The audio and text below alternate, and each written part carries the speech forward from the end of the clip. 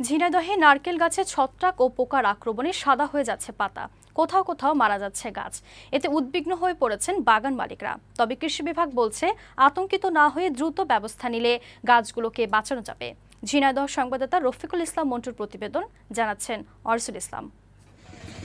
ঝিনাইদহের বিভিন্ন এলাকায় নারকেল গাছের পাতা সাদা হয়ে মরে যাচ্ছে। গাছ থেকে মনে হয় পাতায় চুন ছিটিয়ে দেওয়া হয়েছে। কিছু কিছু পাতায় জাল বুনেছে মাকড়সা। এ নিয়ে নানা রকম আলোচনা শুরু হয়েছে জেলা জুড়ে, আর ক্ষতিগ্রস্তদের মধ্যে দেখা দিয়েছে এক ধরনের আতঙ্ক, উদ্বেগ। আছে সাদা হয়ে নাইকেল প্রত্যেকটা বাগায় আছে ইয়ে এরকম আছে। কেউ বলছে ভাইরাস আছে গাছে ছড়াচ্ছে গাছগুলো পুরোটাই সাদা হয়ে যাচ্ছে হঠাৎ করে মানে পুরো- পুরিটা প্রতিটা পাতায় এরকম সাদা দেখা যাচ্ছে।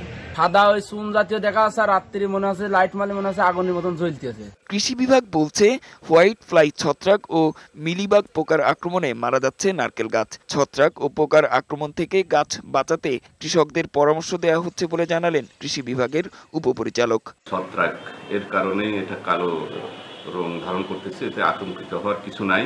আমরা কৃষকদের নিয়মিত পরামর্শ দিয়ে যাচ্ছি। স্টিকি ট্রাপ, হলুদ ট্রাপ, নীল ট্রাপ, সাদা ট্রাপ, নিম ঘটিত বালাইনাশক প্রয়োগের পরামর্শ দিয়ে যাচ্ছি।